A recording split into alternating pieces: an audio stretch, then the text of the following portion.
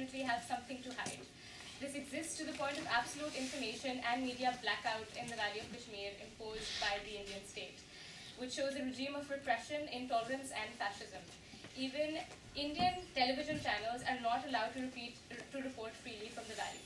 Muzamil Jaleel of the Indian Express wrote, Kashmir has been turned invisible even inside Kashmir. Journalists have been imprisoned and gone missing after daring to criticize the Modi regime. International reputable media outlets like BBC and the Al Jazeera are targeted and discredited falsely for presenting fake and fabricated footage from the valley. The BBC and Reuters ran stories about massive protests in the region. Both outlets reported that authorities used tear gas to, to disperse protesters. The BBC shared a video that appears to show police firing on um, protesters, yet the government continues to deny the footage. And instead, it has further imposed restrictions on access to the press to the valley directly, uh, denying the world's right to know about the government's increasingly fascist maneuvers in the valley. Ladies and gentlemen, a slightly different yet similar situation also exists in Pakistan, whereby although television channels are mushrooming at an unprecedented rate, yet existing seasoned journalists are facing threats and intimidation for being critical of the status quo, that is, forcing an atmosphere of fear and self censorship. According to some journalists, this has been one of the worst regimes that have done that have imposed a, bra- a, a, crackdown on journalists, and some even say that it is worse than uh, dictatorial regimes, for example, the one of Zia, which is very popular for imposing its censorship. Several international media watchdogs have called out the draconian orders issued by PEMRA in this regard, that is, the Pakistan's Electronic Media Regulatory Authority. While some information platforms like the Voice of America Pashto language radio service were taken down, several media outlets have had to downsize as a result of financial constraints. And according to journalists, this is another soft tactic of controlling media and journalists in Pakistan. Media, ladies and gentlemen, is the fourth pillar of democracy. It has a responsibility to expose the ills in our society and aid the government in identifying and correcting them. It also has a responsibility to empower people to make informed decisions, and thereby it carries massive influence. However, while it is absolutely essential to have a vibrant and free press in Pakistan, responsible journalism is also necessary, otherwise, it becomes detrimental to the very freedoms that it is supposed to secure and preserve. Thus, striking the right balance is extremely important. In order to discuss this critical issue at hand, we have a very important panel with us today.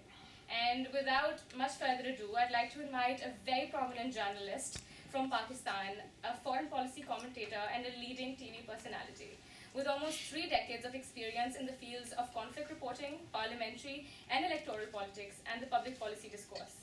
He has interviewed global personalities like Margaret Thatcher, Hillary Clinton, Mahathir Mohamad, Benazir Bhutto, and our current Prime Minister Imran Khan. Please join me in welcoming Talat Hussain.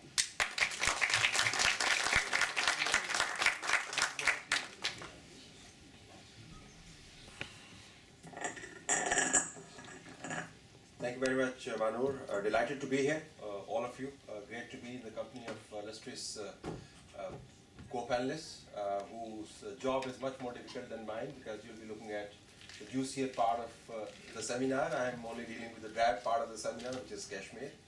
So I'll keep it simple for you because censorship has sort of more provocation attached to it. Um, and Kashmir has a censorship problem, but it also has um, a dispute related problem. Uh, in journalism, we say that we choose our stories as reporters, but uh, we don't choose our headlines. Headlines are made by the desk. So I have a bit of an issue with the sort of bracketing of um, Kashmir with you know India and Pakistan censorship, but that's a headline that we didn't choose. Just to make that point, that I will be discussing Kashmir not in the context of censorship only, but looking at it from the multiple um, dimensions of this being a dispute and where it, how it started and where it will go. I have pre prepared a small presentation for you. Um, I believe that the, I'm not a PowerPoint presentation fan, frankly, because I believe that world's problems are caused by PowerPoint presentations. We compress very complex uh, issues into very small bullet points and to make it look uh, very uh, deep. uh, but in respect of time, I had to do that. So you know, uh, bear with me as I roll the, the presentation. Um, basically, the, that's my uh, upfront statement. That's the uh, the thesis that I'm working with. Uh, unlike uh, those who do research, journalists have the um, the license to basically put the conclusion at the beginning of the article. So that's the the beginning of my article, and that's what my conclusion is. So if you look at um, India has created a new map, uh, and uh, uh, this map may look new in terms of its contours and uh, the association that it has developed uh, with a Kashmir state, which is now defunct. But it's an unfolding of decades of policy that India had adopted and culminated in a policy that is pursued and espoused by BJP. So that's what my thesis is. Um, the original view of Kashmir that Delhi used to take now is in the dustbin of history. It's almost as if uh, India created a Fukuyama who said that you know history has ended without a question mark uh, in Kashmir, and we are now starting a new history. How it existed, what it was, doesn't really matter. But it, it's important to get your perspective right. Uh, so I'm going to take you through uh, a couple of slides that will tell you how India used to look at Kashmir. Uh, and these are you know, factually accurate um, citations. Um, we have tried to be as uh, uh, factual and honest about their citations, uh, references as possible, but uh, error here and there can't be ruled out. Uh, so how did Delhi actually used to look at uh, the issue of Kashmir? You know, the one core issue as the dispute was initially known is the finality uh, of the accession. Was the accession to the Indian state uh, of the disputed Kashmir part uh, final or not? Uh, and I'm quoting statements that you read yourself uh, from Jawaharlal uh, Nehru and uh, uh, his uh, his telegram to the Prime Minister of Pakistan, which uh, make the Indian stance absolutely very clear that the accession to the Indian state uh, was not final. It was a temporary arrangement. It was supposed to be an interregnum created by uh, the invaders from the Pakistani territories, which created a situation that the Indians had to respond to. So there was nothing final as far as Delhi was concerned uh, about the accession to the Indian states. These are just two statements. I, I have a whole plethora of them, but I thought, just thought that it's important to make this point.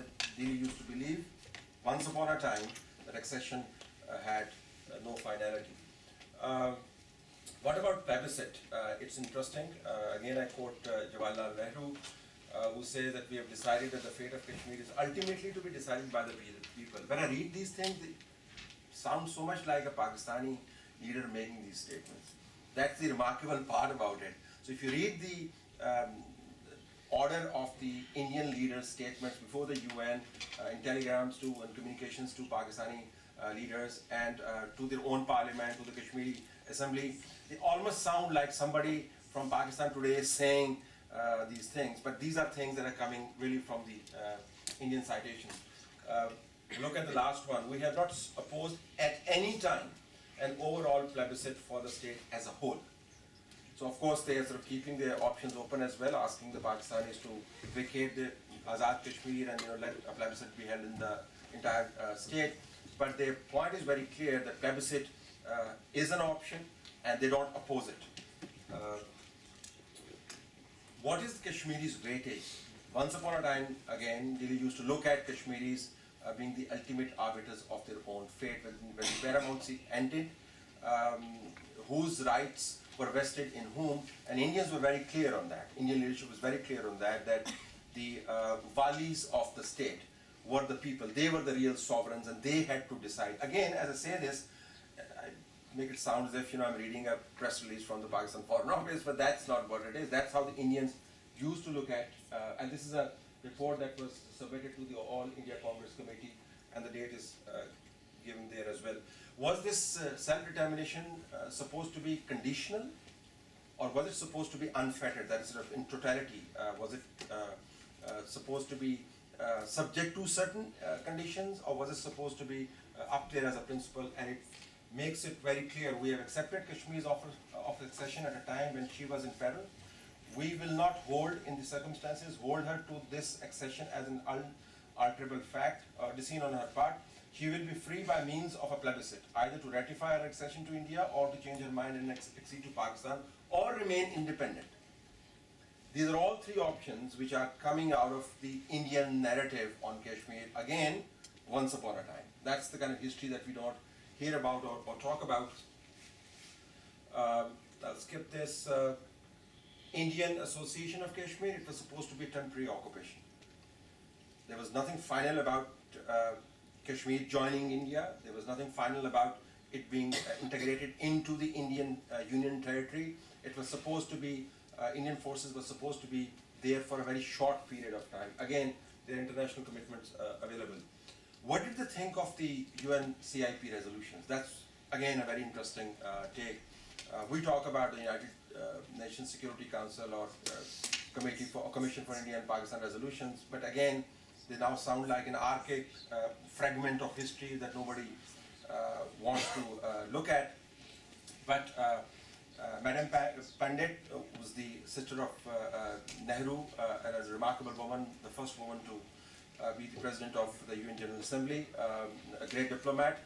She committed uh, uh, to implementing uh, the resolutions in letter and spirit, and she said that you know we do not want to bypass these resolutions. These are all commitments which are international in nature. Uh, Krishnan uh, Menon again, a formidable diplomat, uh, you know, great representative of uh, India again committed to implementing these decisions. Um, let me skip to and see uh, what the present state of Kashmir is now. Now, older solutions, and they have been not one, not two, but at least 14 uh, countable solutions proposed to the Indian problem, uh, the Kashmir problem. And uh, the, it ranges from, say, soft borders to uh, joint uh, custody to um, limited sovereignty to you know multiple formulas, uh, at least 14, and these were solutions which were not conceived by theoreticians. These were solutions that were uh, conceived by diplomats from both these countries uh, under the aegis of the international uh, either organizations or um, international players. Um, there was you know one solution that uh, Jawaharlal uh, Nehru was uh, deeply uh, interested in, and uh, Secretary Dulles was negotiating that. It was partly reported uh, recently uh, with the Pakistani leaders, and the Cold War intervened, and Pakistan joined the American camp, and that solution, you know, uh, again became in the category category of neither here nor there. But there were there have been solutions from the day uh, Kashmir problem started uh, till uh, General Bajwa time. And here I'm sort of giving you some news as well.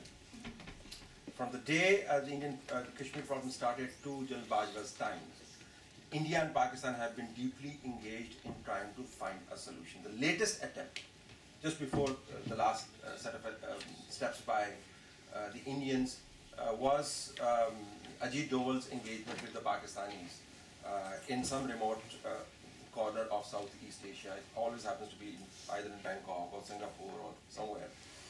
And just before the Indians actually took that step, Pakistanis reportedly had like five rounds with the Indians, trying to find out a workable solution to the Kashmir problem, along with a couple of other problems that we have with India. Now, what uh, triggered the ultimate Indian somersault on that last engagement, we do not know. But our sense is that Indians, from that engagement uh, with Pakistanis, uh, concluded that Pakistanis are desperate for some sort of a peace, and they went back and reported. That's our interpretation of it. Uh, and Modi thought that this is the right time to basically do what he had always been planning. So rather than taking the peace process forward, they concluded that Pakistanis were in no position to now, um, you know, fight with the Indians, or they are so desperate to have a solution with the uh, with the Indians that now we can uh, create this new uh, map of India, and Pakistanis will not be able to respond to that. And so far, frankly, that assumption has been proven to be quite accurate. So the, the attempt to find a solution to Kashmir problem, that's the long and short of it, uh, has uh, a history as old as the history of the dispute itself. What is India trying to do? India is basically integrating uh, the territory and the people through economic assimilation and social reorganization. I think Indian strategy is long term. Uh, they are uh, going to throw a lot of money in uh, what we call uh, Indian administered occupied Kashmir and now what they call their state and Kashmir state doesn't exist. Uh, there will be massive investment. You will have um, a lot of multinationals moving in, international money pouring in. And do not be surprised if the Americans uh, are building their uh, own networks and corporations, starting their offices in, in the occupied uh, territory. So India will be using a lot of money to basically create an economic incentive against violence and resistance. So that's one strategy. The other is social reorganization, which essentially means that you bring in more people from other parts of uh, uh, India and not try to change the demographic balance, but try to create a constituency within Kashmir, which is going to be a dilutory effect on uh, the rebellion as well. So that's one. They are also developing a global stake in the new uh, Kashmir history, as they call it. Just to give you one example, uh, one reason Chinese are really worried about uh, what happened in Kashmir is not because they love us so much.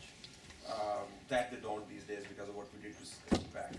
Um, they are worried because uh, there apparently is an agreement between the Indians uh, and the Americans to allow America uh, a toehold or a base in Ladakh. So if that were to happen, regardless of whether Americans stay in, in uh, Afghanistan or not, uh, they will be sitting at the jugular vein of the Chinese, and the Chinese do not like that. So Chinese take on Kashmir is not what is happening in the valley. Chinese take on Kashmir in very centers around Ladakh itself, which is a sort of fine point that generally doesn't become uh, apparent. But that's the new stake that India is creating of the global powers in ensuring that the new map of India is unalterable.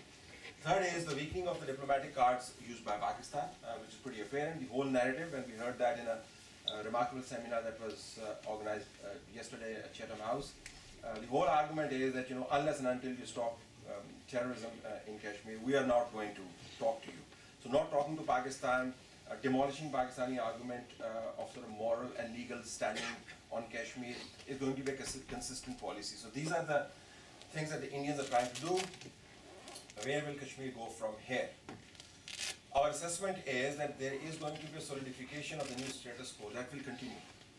So it is pretty much an irreversible process that they have unleashed. That's how we see things now. If the information base changes from a couple of months now, we may be able to reach a different conclusion. But we are suggesting that uh, this status quo is going to continue to be deepened. Loss of initiative for Pakistan, we already see Pakistan's uh, initiative on Kashmir kind of petering out, running out of uh, steam. Uh, the whole um, you know hyperventilation in the initial few weeks has now settled down to a more grim, uh, cliched kind of a routine. A couple of headlines there, a couple of headlines there. Somebody standing in front of Eiffel Tower, other standing you know somewhere in a nondescript place elsewhere. That's about the best initiative that we have taken so far in Kashmir. So uh, Indians are playing for time. Um, we may have the high moral ground, but as the Taliban used to say in Afghanistan, we have the watches. We have the time. They have the watches and we have the time. So Indians have the time. So they're going to play, play it out and let it roll and dilute the initiative, which is not going anywhere, anyways. Uh, there's going to be low-grade simmering of discontent that will continue to create greater chances of a bilateral uh, conflict. You know, the internal frustration within Pakistan of seeing the Kashmir uh, being taken away right under their noses is going to create huge problems for the political and military leadership inside Pakistan. And you know, some of that steam is going to come out in very strange ways. Um, so we do not rule out the possibility of a you know, bigger, larger conflict, not related to uh, to Kashmir, but because of the fact that so many frustrations have been bottled up now, and Pakistani initiative doesn't seem to be going anywhere. And conversely, the Indians are on a high, and when a sort of more dominant power is on a high, uh, do not um, uh, trust their judgment. They can also make egregious strategic mistakes. So the mistakes can't be just made by Pakistanis only. Indians may also have a miscalculation. Last, that's the more important one and connects directly with the next panel's uh, talk. Pakistan's economic situation and internal arrangement will define the width, length, and depth of its response. Um, Pakistan's diplomatic leeway has shrunk remarkably, and that has a direct correlation with Pakistan's very bad economic situation. I was thinking of a heavier word, but you know this will do. Very bad economic situation. Our diplomatic leverage has shrunk proportional to uh, where our economy stands. So if your economy is growing like at 2.4 percent, uh, the new statistics I was looking at are even more, um, you know, problematic, like a little under two. Um, for the next three years, uh, that's not the kind of economy that will give you a lot of diplomatic leverage. And if internal upheavals continue, our diplomatic uh, uh, leeway vis-a-vis India is going to continue to shrink. So on that dour and sour and dark note, I wind up my uh, my presentation. Thank you very much for your patience. As I told you, the juicy part is coming up now. Mine was the book. Thank you very much.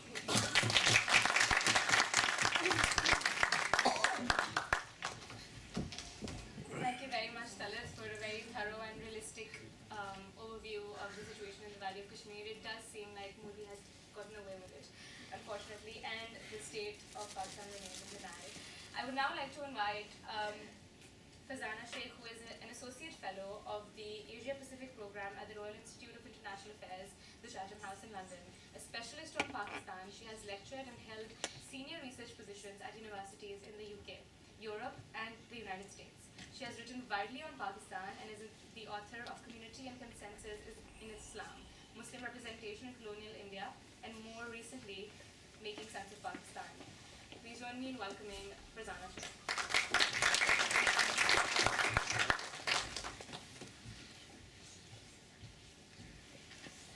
Thank you, Mahmood, and um, for those kind words. Um, thank you all for being here this this evening. It's much appreciated, as Mahmood said uh, earlier on. Uh, it's a cold evening, uh, and so um, it's all the more appreciated. Um, there's going to be no PowerPoint. I generally avoid PowerPoint. I hope you can hear me clearly at the back. Um, it's it's a traditional way of doing it, so um, I hope you you will bear with me. My my my brief this evening um, is to address uh, the general trend towards increased censorship and civic rights violations uh, in South Asia generally and uh, in Pakistan more specifically. Manu tells me I have about eight to ten minutes, so